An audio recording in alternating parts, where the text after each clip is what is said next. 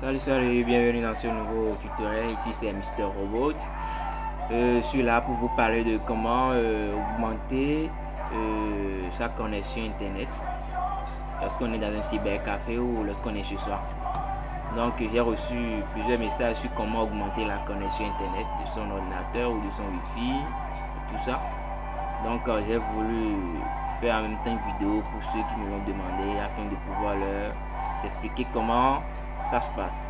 Alors donc dans cette vidéo, je vais vous montrer comment augmenter le, cette donnée TCP. Donc voilà un peu. Mais avant, je vais vous expliquer un peu un petit truc. Voilà. Donc ici, c'est les différents normes de Wi-Fi. Alors, je vais d'abord vous parler de, des normes Wi-Fi qui existent pour que vous sachiez en fait euh, quelles sont les fréquences et les TB qui sont liées à votre norme Wi-Fi. Puisque chaque norme Wi-Fi avec sa fréquence et son débit.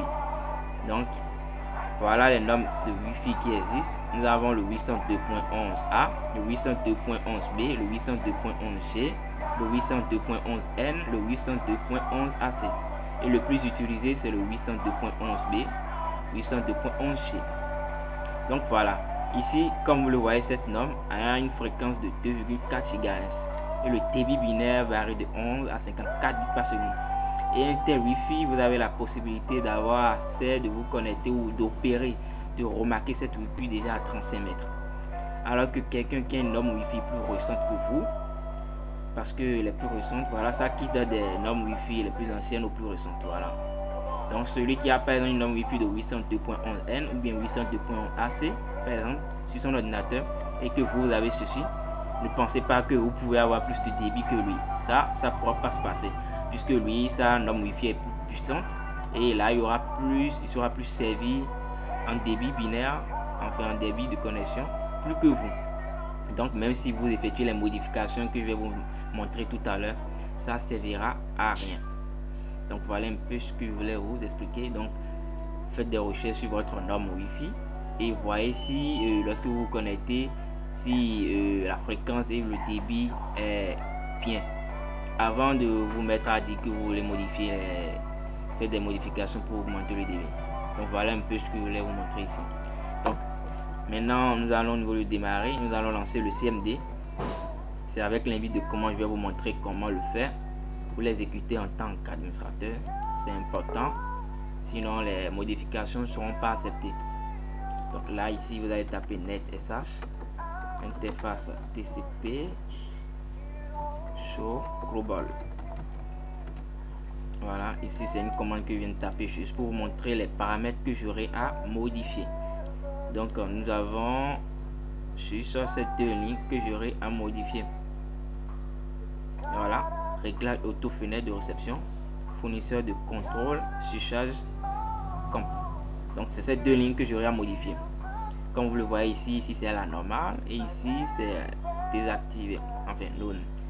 Donc c'est les deux lignes que j'aurais juste à modifier. Pour ceux qui ont des problèmes malgré que euh, ils ont une très bonne connexion et que ils remarquent que leur débit ou leur fréquence ne correspond pas à leur norme Wi-Fi.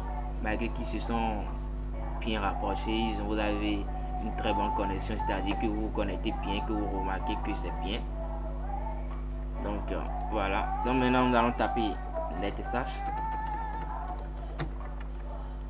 netsh voilà. Interface tcp cette fois-ci nous allons mettre 7 global voilà. Auto tuning voilà. Égal. Restricted. Restricted voilà. Restricted voilà. Nous allons valider par entrée donc la commande a été bien exécutée. Nous allons retaper encore une autre commande netsh interface TCP c'est global. Cette fois-ci, nous allons mettre conjection provided. Cette fois-ci, nous allons mettre CTCP. Vous validez par entrée. La commande a été aussi bien exécutée. Donc voilà les deux commandes que nous avons juste à modifier. Maintenant, nous allons revenir sur notre première commande. Donc, euh, pour ne pas réécrire encore, vous n'aurez qu'à juste manipuler les touches de direction de votre ordinateur, le haut et le bas, juste pour revenir sur les commandes précédentes. Donc ici, nous avons l'interface interface TCP je vais valider par entrée pour faire pour remarquer les modifications. Donc comme vous le remarquez, les modifications ont été bien effectuées. Au début, c'était ici sur normal et ici c'était sur non. Donc je viens de les changer. Cette fois-ci, c'est sur restricted et ici, c'est sur CTCP. Voilà.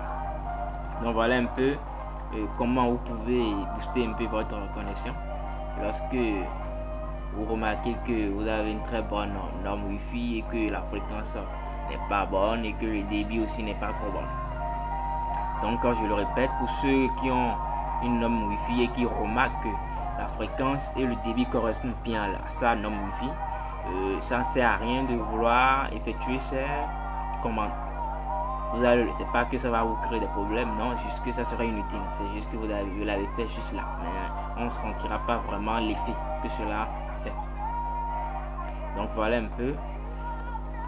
Alors, en passant, je vais dire merci à tous ceux qui s'abonnent à ma chaîne YouTube, tous ceux qui like mes vidéos et, tutoriels sur mon groupe et ma page Facebook, que je vais même laisser, que je laisse souvent, le plus souvent sur ma description de ma vidéo, ma page Facebook, mon groupe Facebook et euh, ma chaîne aussi, mon compte Twitter.